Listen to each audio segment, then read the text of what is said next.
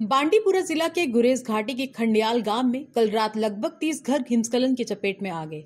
अधिकारी ने कहा कि कल रात लगभग साढ़े नौ बजे हिमस्खलन की चपेट में आने से कम से कम 22 घर पूरी तरह से क्षतिग्रस्त हो गए। उन्होंने कहा कि हिमस्खलन के कारण लगभग आठ घर, कई गौशालाएँ और कुछ दुकानें पूरी तरह क्षतिग्रस्त हो गई हैं। पुलिस अधिकारी का कहना है कि अभी भी हिमस्खलन से हुए नुकसान के बारे में विवरण इकट्ठे किए जा रहे हैं। वहीं सूत्रों के अनुसार इस घटना में किसी भी तरह की जनहानि नहीं हुई है।